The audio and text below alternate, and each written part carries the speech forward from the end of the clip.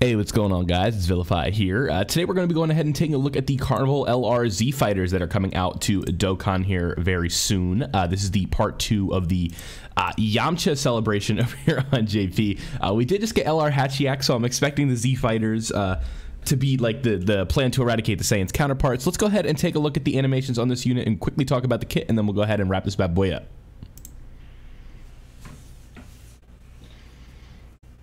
I may or may not have recorded this and have to do it again. So.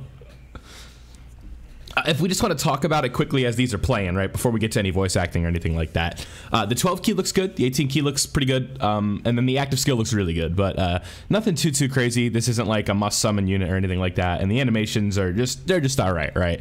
These are not uh, seven year uh, tier. These are not you know. Um, Who's, who's a unit with really good animations, right? Even Yamcha, go figure.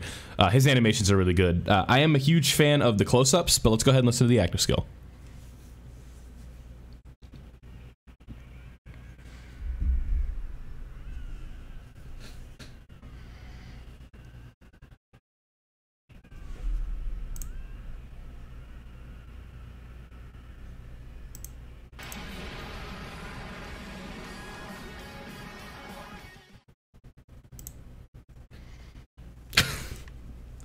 I'm a, I'm a funny guy. Let's uh, let's go ahead and listen to that active skill again. Uh, just realized the desktop audio was muted, so.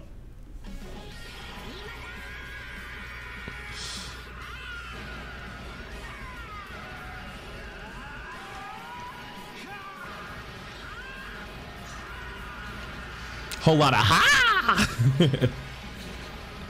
okay, so the close-ups on these active skills look really good or these on these uh, animations. I like the zoom in on the uh, like each specific character as we kind of go through with each one.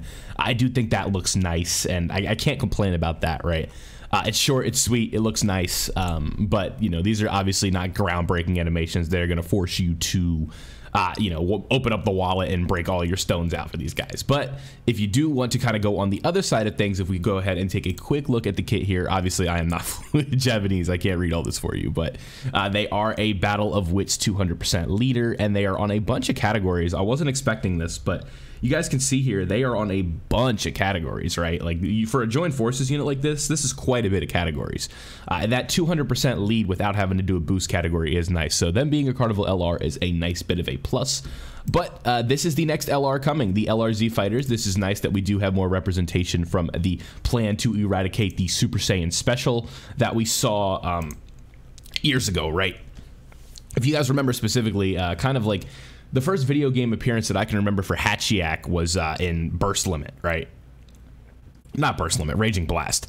Uh, the Raging Blast series, I remember, would have like a dedicated story for Hachiyak. It wouldn't be like the specific one of this, but if you guys remember how the Raging Blast story would play out, you would kind of like go in as a character and do like certain objectives, certain things. Like I remember there would be some that you'd have to go in without taking a hit or something like that, and you'd have like one HP or whatever. But uh, that's all I got for you in today's video. This was the LR for part two of the Yamcha celebration. Uh, let me know what you guys think of these animations down below, and I'll catch you guys in the next video. Uh, don't forget to leave a like if you did enjoy, subscribe if you are new, and I'm out.